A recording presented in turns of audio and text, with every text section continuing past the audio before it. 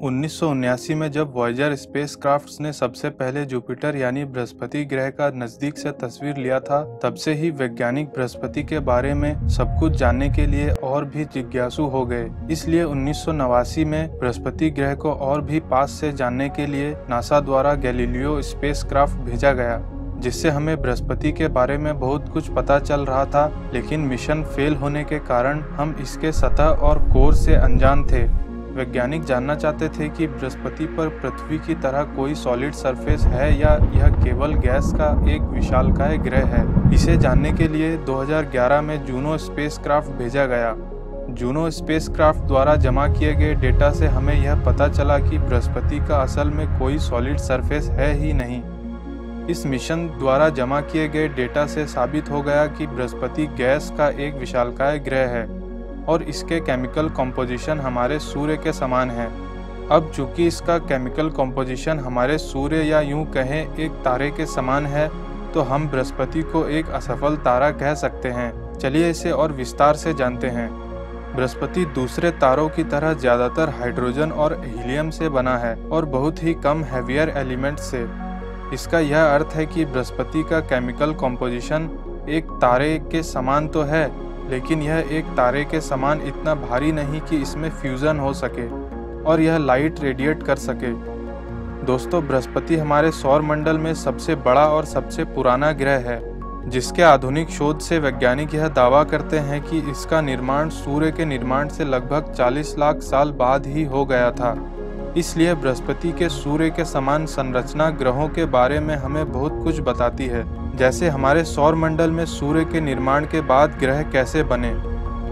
वैज्ञानिकों के अनुसार जब एक तारा बनता है तो इसके आसपास के सभी गैस और धूल एक डिस्क बनकर तारे के चारों ओर घूमने लगते हैं। इस डिस्क को सोलर नेबुला कहते हैं।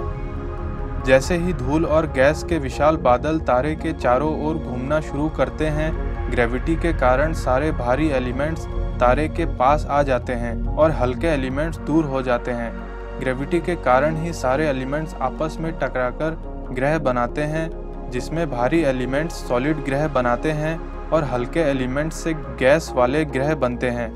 बृहस्पति भी ऐसे ही हल्के एलिमेंट्स के कोलैप्स होने से बना है, लेकिन बृहस्पति पूरी तरह से तारा भी बन सकता था, या पूरी तरह से ग्रह, या कुछ और। उदाहरण के लिए, हमारे मिल्की वे गैलेक्सी में कई ऐसी वस्तुएँ हैं जो बृहस्पति के समान हैं। उनका केमिकल कॉम्पोजिशन भी समान है। इन वस्तुओं को ब्राउन ड्रॉफ्स के नाम से जाना जाता है। ये वस्तुएँ बहुत अद्भुत प्रतीत होती हैं। ब्राउन ड्रॉफ्स इसके जैसी वस्तुएँ या बृहस्पति सभी एक समान दिखते हैं। इसलिए इन्हें स्टारलाइट ऑब्जेक्ट्स के रूप में माना जाना चाहिए। एक ग्रह के रूप में नहीं। हालाँकि एस्ट्रोनॉमर्स के बीच इस बात के बहुत सारे तर्क हैं क्योंकि वे अभी तक ये निश्चित नहीं कर पाए हैं कि बृहस्पति के लिए किस नाम का उपयोग किया जाए। वे अभी भी निश्चय नहीं कर पाए हैं कि इन्हें असफल तारा कहा जाए या ग्रह। दोस्तों, हर ग्रह को उसके मास, केमिकल कॉम्पोजिशन और एलिमेंट्स द्वारा परिभाषित किया जाता है और कम से कम इसे एक वस्तु या मास कहकर बताया जाता है, जो किसी तारे का चक्कर लगाता है। इसलिए बृहस्पति बहुत अधिक वस्तु है जो न्यूक्लियर फ्यूजन नहीं कर सकता। इसलिए हम इसे पूर्ण रूप से ना तो ग्रह कह सकते हैं और ना ही तारा। दोस्तों जैसे जैसे वैज्ञानिक बृहस्पति और इसके समान ग्रहों को जानते जाएँगे, हम ब्रह्मांड को और भी बारीकी से समझ पाएँगे। आशा करता हूँ आपको यह वीडियो अच्छा लगा होगा। अगर अच्छा लगा तो लाइक और शेयर ज़रूर करें और चैनल को सब्सक्राइब करके नोटिफिकेशन ऑन कर लें। मिलता हूँ अगले वीडियो में। जय हिंद, वंदे मातरम।